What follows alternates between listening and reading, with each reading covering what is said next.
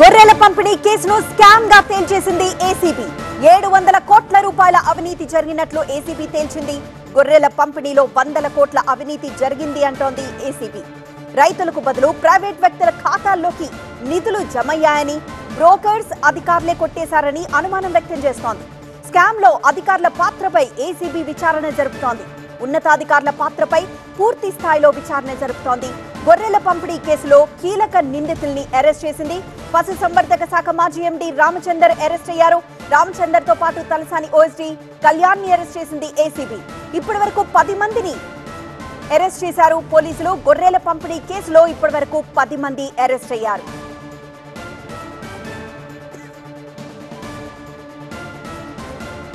మరింత సమాచారం మా ప్రతినిధి ప్రణీత అందిస్తారు. ప్రణీత గొర్రెల పంపిణీ కేసుకి సంబంధించి అప్డేట్స్ ఏంటి?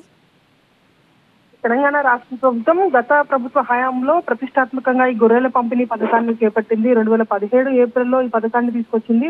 అయితే అప్పటి నుండి ఆ, గత లాస్ట్ అక్టోబర్ వరకు కూడా ఈ గొర్రెల పంపిణీలో అనేక అక్రమాలు జరిగాయి అంటూ గతంలోనే కాగ్ కూడా నివేదిక ఇచ్చింది. దానికంటే ముందే తెలంగాణ ఏసీబీ అధికారులు సైతం గొర్రెల పంపిణీకి సంబంధించి ఒక కేసు నమోదు చేశారు.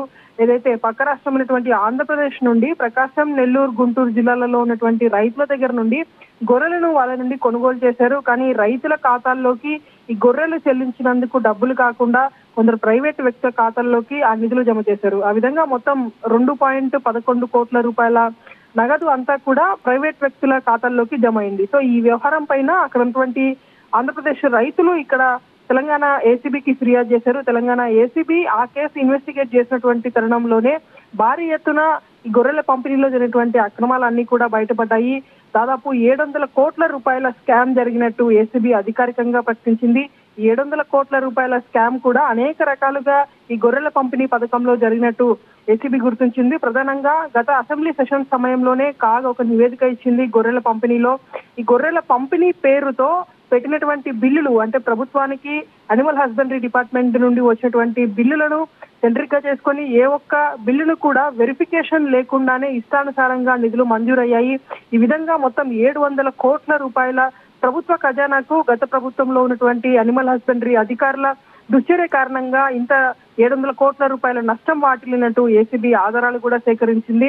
గొర్రెలను తరలిస్తున్నామనేటువంటి పేరుతో ఒక్కొక్క టూ వీలర్ కావచ్చు కార్లు కావచ్చు ఆటోలు కావచ్చు వీరి వీటి వీటిని సెంట్రిక్గా చేసుకొని గొర్రెలన్నింటినీ కూడా పంపిణీ చేశాము. సో వీటికి సంబంధించినటువంటి పెట్రోల్ ఖర్చులు కావచ్చు వాహనానికి సంబంధించినటువంటి అలయన్స్లు కావచ్చు వాటన్నిటినీ కూడా బిల్స్ రూపంలో చేరుస్తూ దాదాపు ఐదు వందలకు పైగా బిల్స్ను క్రియేట్ చేశారు. ఈ బిల్స్ అన్ని. కూడా దాదాపు ఎనభై శాతానికి పైగా బిల్స్ అన్ని కూడా ఫేక్ బిల్లులుగా ఏసీబీ.